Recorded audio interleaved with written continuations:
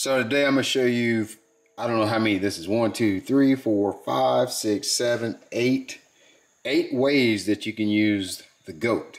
So just a little bit of background information on the Z-Man goat. It comes in three sizes. There's a baby goat, which is the smallest one. I'll show you here in a second.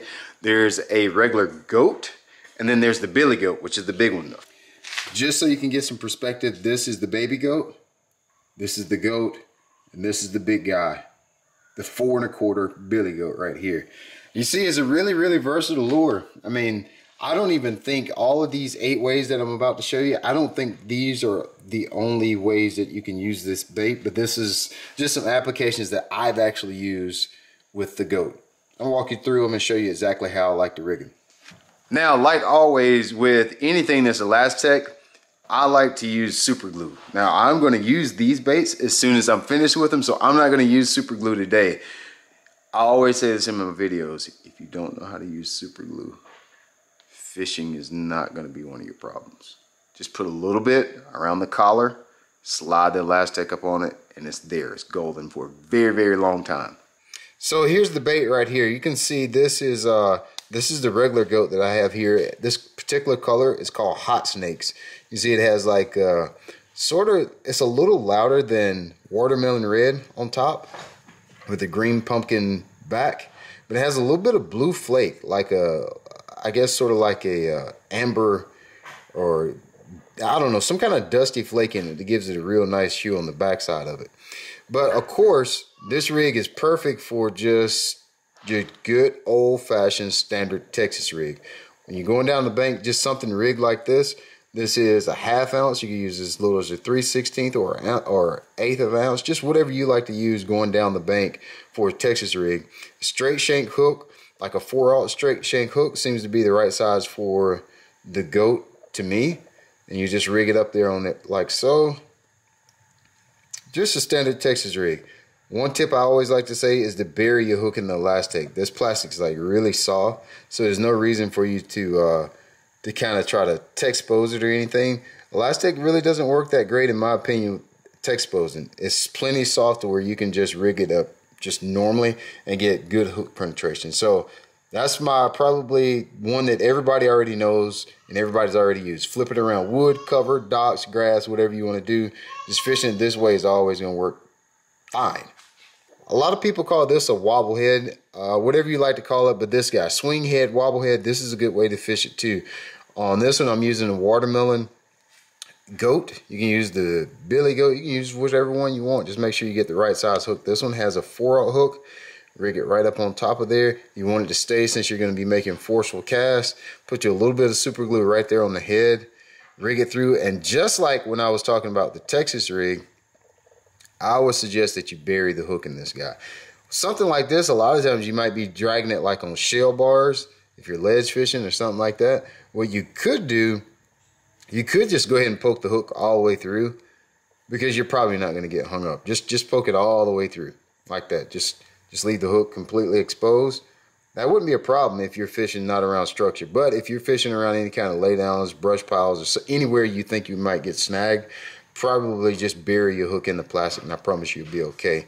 This is a half ounce wobble head swing out uh, swing head with a four aught hook. Situation number two, you can use the Z-Man goat right there. Then thirdly, it's probably my favorite way to use it is on a uh, on a buzz bait here. This is a old school boogerman. This is an old old one right here. I'll keep these buzz baits and patch on them and and put new blades and try to keep the hook points from rolling over. Uh, but for that, I usually use just a white goat as well, the 375. What I do like to do with the goat is I usually take a pair of scissors and I usually cut about two of the egg sacs off. You see there's they're serrated right here. There's one, two, three, four, five, six, seven, eight. There's like nine little egg sacs all the way down the body of the plastic. I usually like to cut off about two or three of those I think it just shortens up the bait just perfectly. These aren't the best pair of scissors. I think I just cut off three. I think two is about the perfect number. And it also it depends on what's uh, what's the perfect size you know, what, what hook you have on your buzz bait. A lot of people, when I do this, they say, well, why wouldn't you just use the baby goat if you're going to cut off two uh, pieces of the plastic? Well, the reason is the baby goat doesn't have enough plastic. Usually I'm going to be using this buzz bait to skip and also just having a, lot more plastic on it, it skips, uh, it, it just planes off better. So what I'll do that and you can kind of knock the edges off of this if you got a better pair of scissors than these little kindergarten crayon scissors I got here. You can knock the edges off of this so it looks a little bit better. But that's what I like to do. The, to me, just the baby goat doesn't have doesn't have the bulk right here, so you can uh, so the so the buzz bait can get on plane really good. So buzz bait is my third or fourth way that I like to use it. Then we get into some of the pot that are more like straight up UFC bass fishing techniques. Just straight up punching. You know, uh, I'll use, uh, this is a Owner Jungle flipping hook with an ounce and a half sinker. This is a great punching bait. You can use this to punch heavy vegetation, matted grass. This is a really good bait. This is watermelon red. I think the goat is the perfect size, just the regular, the middle one, because you don't want a bait that's too big because it doesn't punch through very well. And it's got enough body in it that it holds the hook well, so you're not constantly snagging up around reeds and and uh, you know in the hydrilla, whatever you're flipping, whatever the aquatic vegetation you're flipping. So, an ounce and a half sinker, straight shank four or five aught hook you could use. You could use the smalls or three aught. Three to five aught hook works just fine in this guy. You can peg it with whatever you like to peg it, T-stop or bobber stop. I prefer T-stops with a sinker this size. And uh, flip any kind of heavy vegetation that you want. It works good for that. So you know I wasn't going to do any type of creature bait video and then not include it being used as a chatterbait trailer. So what I have here is a Z-Man Hot Crawl jackhammer chatterbait. And for that one, the same one, I'll use the goat trailer for it. Probably use best trimmed down. Now in this for a trailer, uh, trailer for a chatterbait, you can use, this is the baby goat. You can use the baby goat for this guy if you, if you choose to. I still like a little meat and I like the bigger flappers on the goat personally. So uh, typically what I'll do is I'll just cut down the goat. I'll usually cut about three egg sacs off the goat. Make sure you split his little, his little legs there. And you have a double keeper. You can see on jackhammers, if you don't already know, you have a keeper on the front and the keeper on the back as well. Slide him up on there.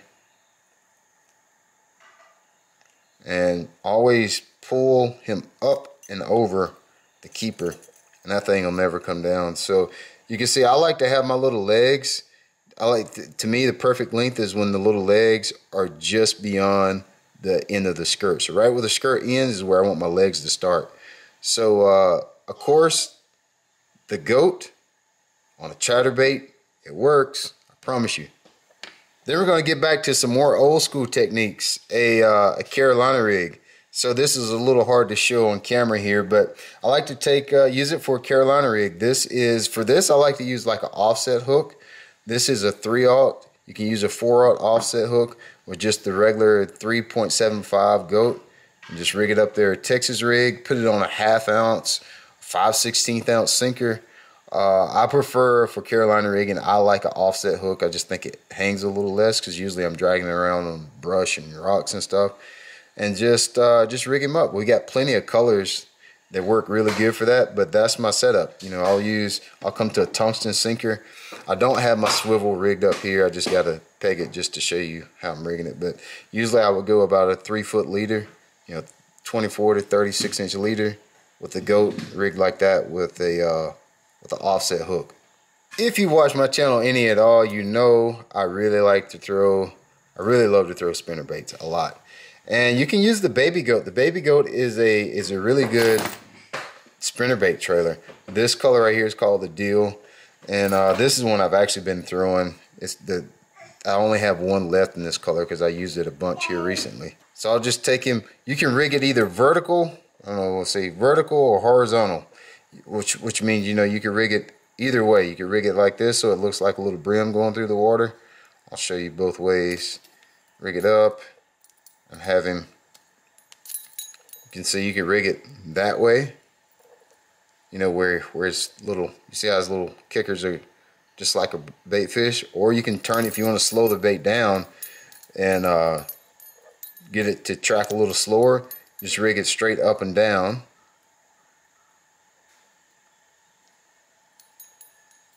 Like this. All right. And then you got it pretty much parallel with your blades and that'll slow it down and have a little slower sink rate. So spinnerbait trailer, I prefer the, the baby goat actually. I think it has a little bit more subtle action, but the baby goat on a spinnerbait, especially the finesse style spinnerbaits, that's a great spinnerbait trailer. And then lastly, I have a swim jig. You know, swim jig trailers are uh, are very important because a lot of times the fish will come up and get the tails of a swim bait trailer. I think they're just more after that. Of course, any of these baits, the fish could get the tail of it. But with a swim jig trailer, that's one you want to make sure you get it because typically you're moving that bait kind of fast and towards the top of the surface. So I like to use just a white Z-Man goat behind my swim jigs.